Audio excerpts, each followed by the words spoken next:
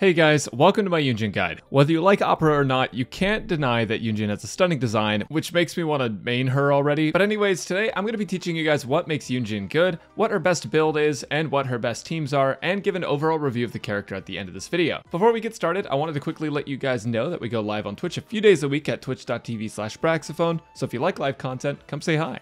My name is Braxophone, and with all of the introduction out of the way, let's start with Yunjin's kit and what makes her good. So the first thing you guys need to know about Yunjin is that her entire kit revolves around buffing normal attack characters. There are tons of characters that can be played around normal attacks. For example, just two of them are going to be Yoimiya and Razor. Those two are DPS that deal a lot of normal attack damage. Yunjin's elemental burst lasts for 12 seconds and makes it so that when a character deals normal attack damage, it's increased by a portion of Yunjin's defense. This isn't Yunjin's own proc of damage, it's actually added into the character's damage formula, meaning that the buffed character's stats change how much Yunjin's buff gives. Now the reason why I'm excited about this personally and why you guys should be too is because on a high-end Yunjin with Constellations, you could see up to 33% total damage increase on normal attack carries. That is a huge increase. As far as damage from her burst though, it's only one proc and it has high scaling, but it's not based on her defense, so the damage isn't super important. And then one last thing to note about her burst is that it has a trigger quota of 30, which essentially just means that after 30 normal attack hits, the burst will end and Yunjin will stop giving the normal attack buff. Having a quota of hits sounds bad, but realistically, you're not going to be hitting 30 times during your 12 second burst consistently unless you're hitting a ton of targets with every normal attack, or if you're using an attack speed focused build. Generally speaking, the 30 hit quota is not really an issue, and the cooldown for this is short at 15 seconds, so you can use it pretty often. Meanwhile, her elemental skill is similar to Beidou's, and it's important to charging her burst. If you just tap, you're going to do low damage counter that's based on Yunjin's defense, and if you hold it, you'll charge up the attack to do more damage. It has two levels of charge, and if Yunjin takes enough damage to break the shield, the skill will activate automatically. At tap or level 1 charge, it generates 2 particles, but at level 2, it generates 3. Now Yunjin's Ascension 1 passive actually buffs her skill by making it so that when your hold E breaks, it automatically releases the level 2 charge, which allows you to perfect counter like Beidou as well. That means if you time a perfect counter to right when an enemy hits, you can force 3 particles to be generated with just a tap. That being said though, it can be hard to pull off and in content where your time is limited, you'll likely be using her tap skill more than her hold skill. And lastly, the cooldown is always 9 seconds no matter what the level of charge is. Yunjin's second Ascension passive is another buff to her support capabilities where it grants you more normal attack damage based on the amount of characters with different elements in your team. It encourages running multiple elements and ends up being a significant damage increase overall. And by running Yunjin in a Geo team, she does still get some buffs, it's just not as much as you would get running her with many different elements. That being said, if you use Geo, Anemo, and one element carry, you should be good. When you're leveling Yunjin's talents, the most important one to level is her burst, and that's because when you increase her burst talent level, it increases the normal attack damage bonus it gives to your team by using bigger portions of her defense. Her skill can be leveled after that for a bit of damage, but it's less relevant to her overall damage output. And for materials, she needs Diligence books, Hilichurl masks, and Ashen Hearts from the Inazuma weekly boss. Lastly, before we get on to the next section, I want to show you guys one huge tip for Yunjin, which is to normal attack into skill into burst. If you're using something like Favonius Lance that gives you energy when you crit, this combo quickly give you three chances to crit with Yunjin on the field. If you use her burst right after you use her skill, you won't waste any energy particles at all, and overall you'll be able to maximize the time you can use her burst buff. Again, you just want a normal attack once, elemental skill, and elemental burst right after.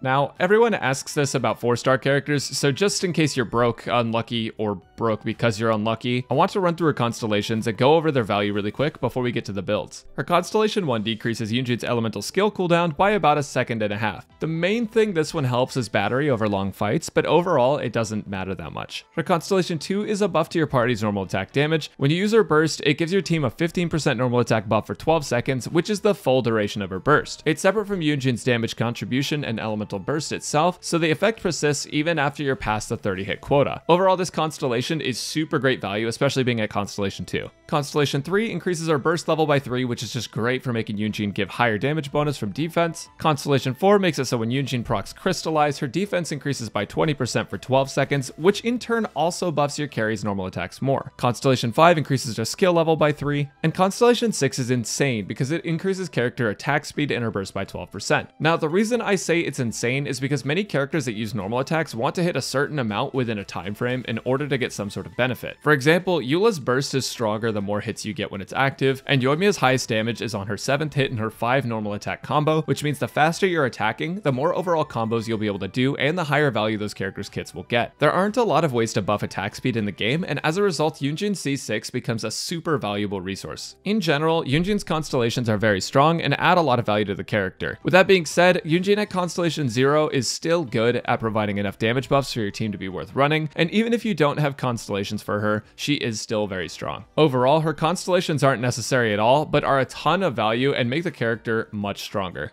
That's basically all you need to know about Yunjin's kit, so we're going to talk about weapons and artifacts next, and this section is going to be potentially even wordier than the first part, but I just want to be really detailed, so let me know in the comments if you prefer this kind of depth. So Yunjin, like every other 4-star unit released during 2.0, has an 80 cost burst and doesn't generate a ton of energy particles. If you watched any of my other Inazuma 4-star guides, you've likely heard me mention the Favonius set, and that's the same thing I'm going to recommend here. The main reason being that you want her burst up as often as possible since she's a support, and because she doesn't generate a lot of particles, you need to compensate with energy recharge and bonus particles from Favonius Lance. For those of you who don't know, Favonius Lance generates white particles, which can go to characters of any element and are less restrictive than elemental particles like anemo particles, pyro particles, etc., meaning you can use it to battery a character with Shimenawa, for example. It does require you to hit a crit, but that's something that's fixed with substats generally, and overall, Favonius Lance is going to be your best choice if you have access to it. However, if you're free to play, Prototype Starglitter is actually fairly solid for Yunjin as well because of its energy recharge main stat. Its passive isn't super amazing for support Yunjin, but it makes a decent stat stick, and the main thing we want from these weapons is the energy recharge. Outside of those two, your last decent option is going to be Engulfing Lightning. Overall, Engulfing Engulfing Lightning is the most balanced weapon for dealing damage with Yunjin while still battering her, but the reason that I wouldn't suggest Engulfing Lightning is actually because it fits DPS characters a lot better, since it gives attack based on your energy recharge, and Yunjin has a defense scaling kit. So Engulfing Lightning would fit a character like Raiden or Xiangling much better than it would Yunjin. Now, if I didn't mention a weapon in this section, it's because the weapon isn't that great on Yunjin. The answer to every question in Genshin is it depends, but in Yunjin's case, an energy recharge weapon is going to be better than all of the other weapon options 99% of the time. If we could run energy recharge on a circlet, then you could argue crit rate weapons would be fine on her, but since energy recharge is not a main stat on circlets, you just have to run an ER weapon. You don't really have a choice unless all of your substats are ER. As for artifacts, they are a little bit more flexible. So first I want to talk about the stats and then I want to talk about the artifact sets themselves.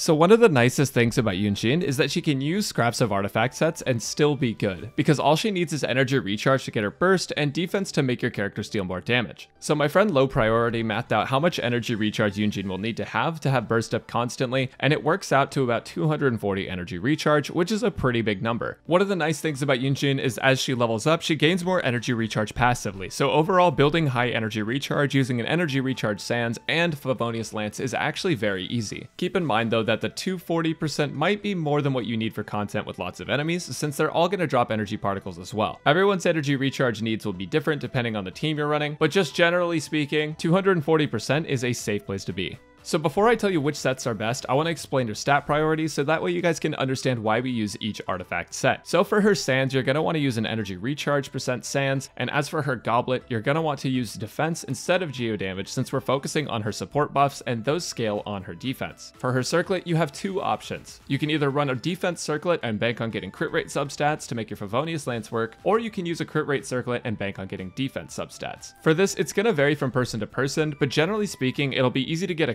cursed crit rate circlet that rolls into defense, while it might not be easy to get a defense circlet that rolls into crit. For substats, you're going to want energy recharge up to 240% maximum, and then you want crit rate and defense. And ideally, you're going to have around 40 crit rate, but it's not the end of the world if you can't make that happen.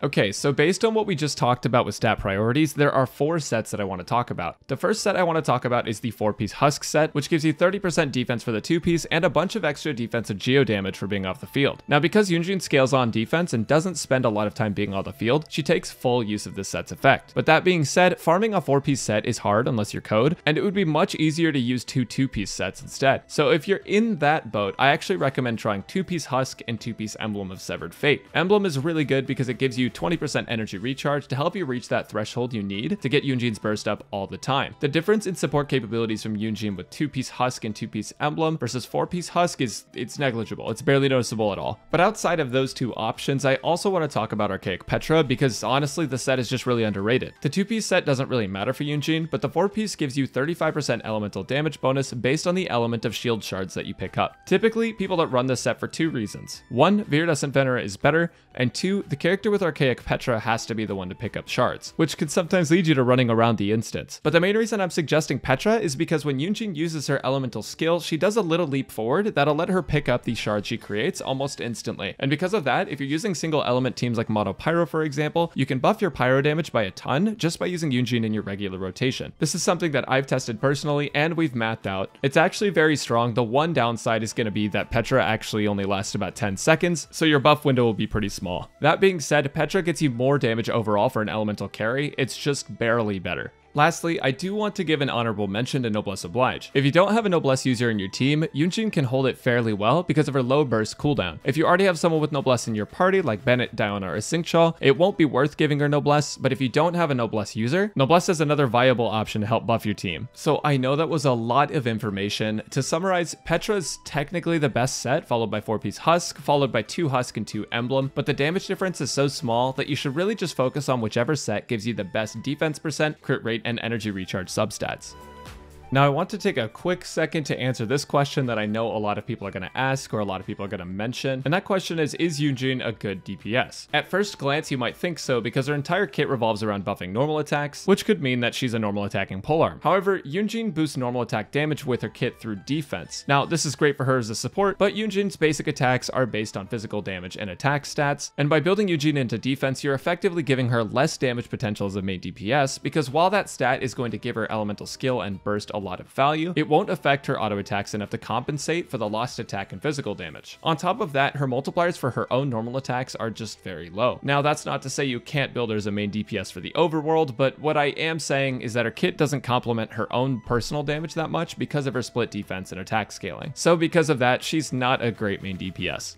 Now, before I list the best teams for Yunjin, I want to let you guys know that these teams aren't the end-all be-all of Yunjin and are just some of Yunjin's best options. A lot of times when I make these kinds of videos, people will comment down below talking about how X and Y aren't actually that good of a team in comparison to top teams in Abyss, so I want to clarify that these team sections are more focused around providing options for you to play the character rather than providing a top meta team, because not every character has a top meta team they can be in, so I can't, I can't always do that. Anyways, the first team that I want to show is Yoimiya, Kazuha, Yunjin, and Bennett. Now, this is actually a mono pyro team, which uh, you probably never thought you'd hear from me. But that basically just means it's not focused on reaction damage and is focused on shredding resistances and buffing pyro damage. Yunjin and Yoimiya are ridiculously strong together, since you're getting normal attack damage from Yunjin, and at C6 you're also getting attack speed, but with Kazuha you're also getting 40% pyro damage if he's relatively invested, as well as massive attack buffs from Bennett. With all of these supports, Yoimiya can actually put out insanely good damage over time. In this team, if you don't have Kazuha, you can replace him with C2 Jean, who increases attack speed and allows Yoimiya to get more hits in per her skill. And if you don't have C2 Jean, you can use Sucrose with Thrilling Tales, but you'll lose some time on Yunjin's burst, so that's something worth thinking about. Generally speaking, Kazuha is going to be much better. Alternatively, you can substitute Kazuha and Bennett for Xingqiu and Raiden, or another Electro unit just for general damage, but my favorite that I've tested has been with Kazuha, Bennett, and Yunjin. The second team I want to show you guys today is the Razor, Kaeya, Yunjin, and Qiqi team, and this is one of the most free-to-play accessible teams with Yunjin in it. Razor is a character that was sort of forgotten about as newer characters came into the game, and he's not a top unit, but in general his damage is actually still pretty solid, and he can be used to clear Abyss at 36 stars with the right investment in teams. This team focuses on Superconduct to lower enemy physical resistance, and that combined with Yunjin to buff your normal attacks, and Qiqi with the Clam set to output extra physical damage makes this a top Yunjin team. Now, if you don't have Qiqi, you can substitute her for Diona for shields and heals, and if you don't want to use Kaeya, Rosaria is also an option.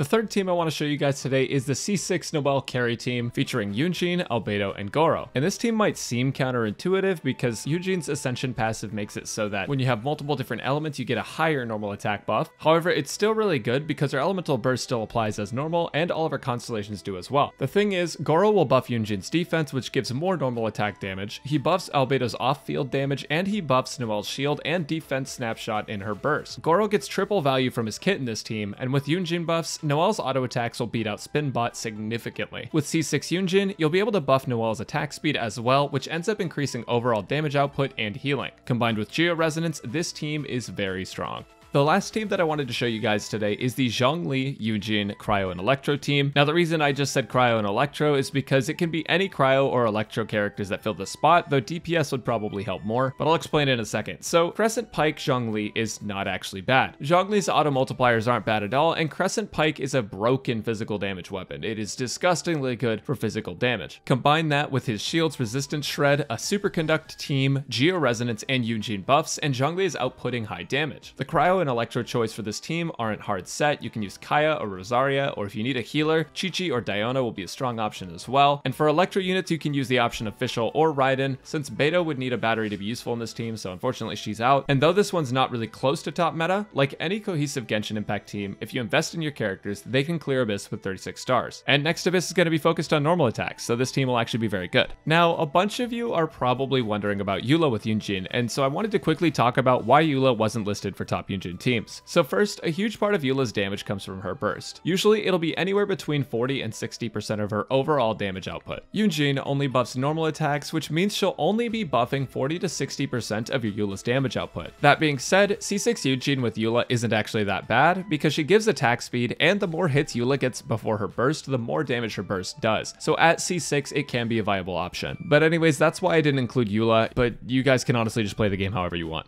So now that I've told you everything about Yunjin, is she worth rolling for and building? In my opinion, yes, but only if you're playing certain characters. One of Yunjin's biggest weaknesses is that her best teams are fairly limited. In other words, like all other 4-star characters released in 2.0 onwards, she's niche. But that being said, Yunjin is incredibly strong within her niche. For the teams and characters she does fit with, her buff can be as strong as Bennett's. As feature characters that focus on normal attacks release, Yunjin will become increasingly better as well. Another weakness that Yunjin has has is that she needs specific weapons to work because of her energy requirements. And this is basically a theme at this point with most of the Inazuma 4-star characters, but at the least, she has an energy recharge ascension stat, so that should compensate a little bit. Yunjin, however, is a super great unit when you get to use her to her full potential. She doesn't take a large amount of investment from artifacts, she fits into compositions that aren't all Geo, which isn't super common for Geo characters, but she can also be used in Geo comps, with the C6 Noelle carry and Goro, for example. As long as you're building a team around characters that focus on normal attack damage, Yunjin is an amazing unit that will bring your overall damage up by a ton. To be clear though, if you're not playing a character that has normal attack damage focus, because that's her main focus, and as a support, if you're not using normal attack carries, she's not going to do a ton for you. With all that being said, thank you guys for watching, and let me know who you're using with Yunjin in the comments down below. Make sure that you check out the Twitch if you want to see live content, and subscribe to the YouTube channel if you've enjoyed. I will see you guys next time, and best of luck on your banner polls.